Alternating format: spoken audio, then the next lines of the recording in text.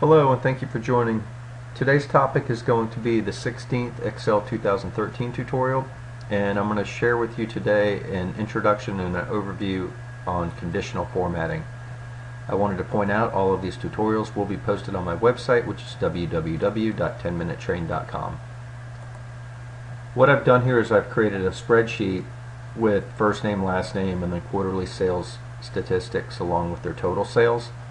And so the first thing that I'm going to do is I want to highlight a couple cells over here in the total sales column. And what I want to do is point out the ones, the top sellers. So how I'm going to do that is I'm going to go into conditional formatting once I highlight the cells in my area that I want to um, highlight.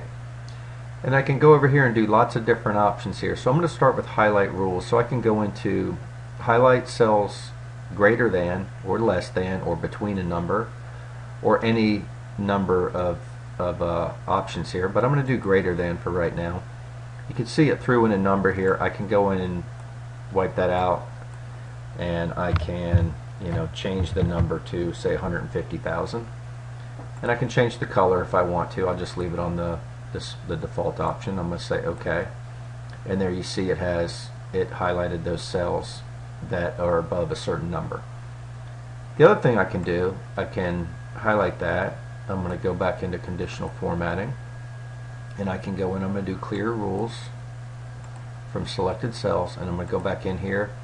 And the other thing I can do is do top bottom top slash bottom rules. So I could do the top 10% the bottom 10% above average below average and so forth.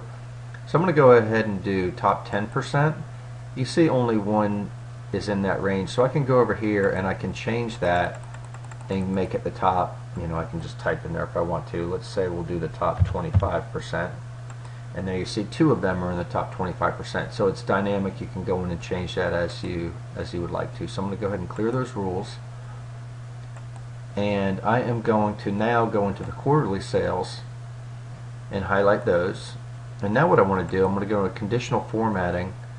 And there's lots of different things you can do here um, you can go in and you can use data bars as an example. If I hover over that, you can see if I choose that, you get a bar depending on how big the number is, how far the bar extends. You can do it in different color formats. You can do different, you know, fills.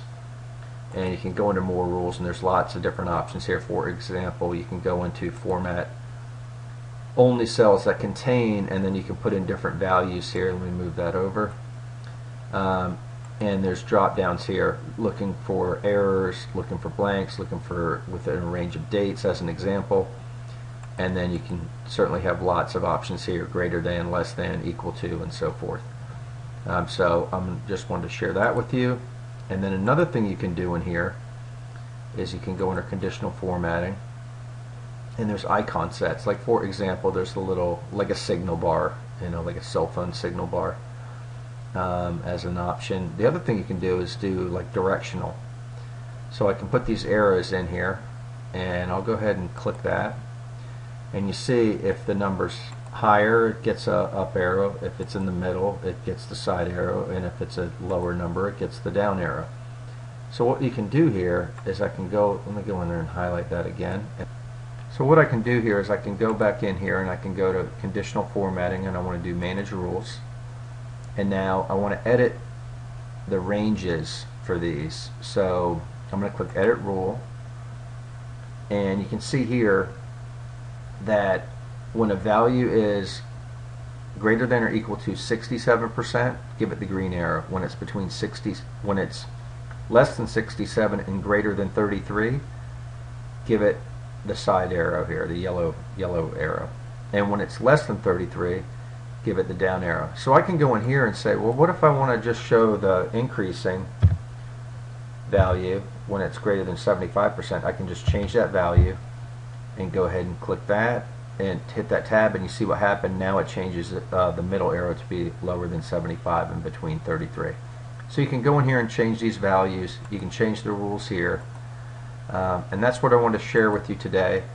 So um, thanks for joining. I hope this was helpful. Take care.